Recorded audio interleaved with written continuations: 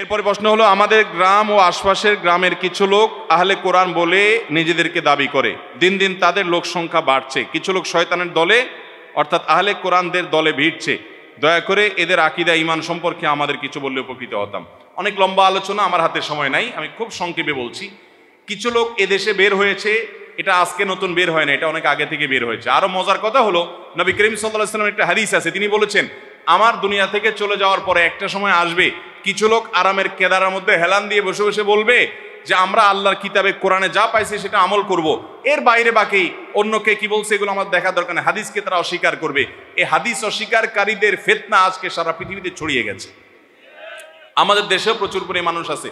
তারা হাদিস স্বীকার করে না, তারা হাদিস অস্বীকার করে। ভালো করে শুনে রাখবেন, যারা হাদিস অস্বীকার করে, এই মানুষগুলো কখনো প্রকৃত অর্থে মুসলমান হতে পারে কোরআনে আল্লাহ তালা তার রসুলকে বলেছেন, ইয়া ইহর রসুল বাল্লিক মা উনজিলা ইলেই হে রসুল, আপনার কাছে যা নাজিল হয়েছে আপনি এটা তাবলিক করেন, প্রচার করেন। আল্লাহ বলেছেন, মা আতা কুমুর রসুল ও ওমা আল্লাহ তোমাদেরকে যা রাসুল তোমাদেরকে যা করতে বলেছেন, দিয়েছেন, সেটা গ্রহণ করো। রাসুল যা নিষেধ সেটা পরিহার করো। রাসুল আনুগত্য করতে এখানে আল্লাহ তালা বলেছেন। আল্লাহ বলেছেন আতি আল্লাহ ও আতি ওর রাসুল। আল্লাহর আনুগত্য করো এবং রাসুলের আনুগত্য করো। আল্লাহ শুধু তার আনুগত্য করার কথা বলে ফুল স্টপ করতে পারতেন। আল্লাহ রাসুল আনুগত্য আলাদা করতে বলেছেন। কোরআনে কোথাও শুধুমাত্র আল্লাহর আনুগত্যের কথা বলা হয়নি যত জায়গায় আল্লাহর আনুগত্যের কথা বলা হয়েছে, সব জায়গায় পাশাপাশি রাসুলের কথাও মানতে বলা হয়েছে।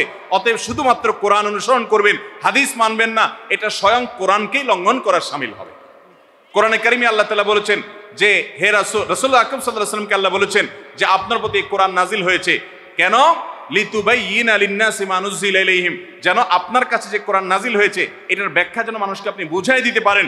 আল্লাহ রাসূল পরে কোরআন নাজিল হয়েছে সেটা আপনি নেবেন। অথচ আল্লাহই কোরআনে বলতেছেন যে, আপনি তাদেরকে এটার ব্যাখ্যা করে দেন। তার ব্যাখ্যাটা, হাদিসটা আপনি নেবেন না। এটা স্বয়ং কোরআনকে অস্বীকার করা ছাড়া আর কিছু হতে আল্লাহ তালা এই বিভ্রান্তি থেকে আমাদেরকে বেঁচে থাকার তৌফিক দান করুন। আর দুইটা প্রশ্ন উত্তর দিয়ে আমরা এরপরে প্রতিযোগিতায় যাব।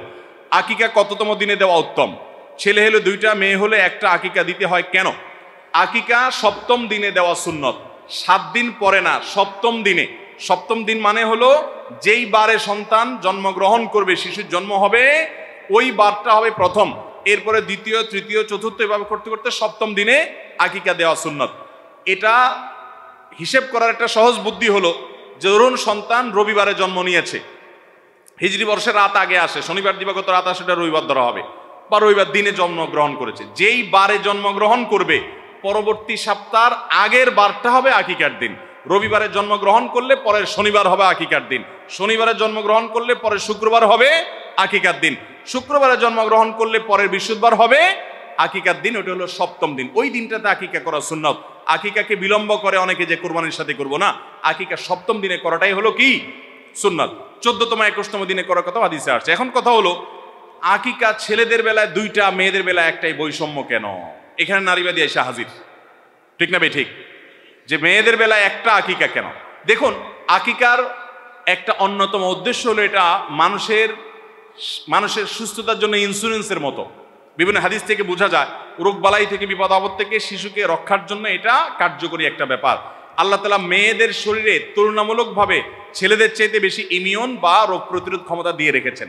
এই জন্য তাদের বেলা একটা হলে যথেষ্ট হয়ে যায়, ছেলের বেলা একটা হলে হয় না, দুইটা লাগে। এখানে বৈষম্য না, আল্লাহর চাইতে আপনি বেশি বুঝেন।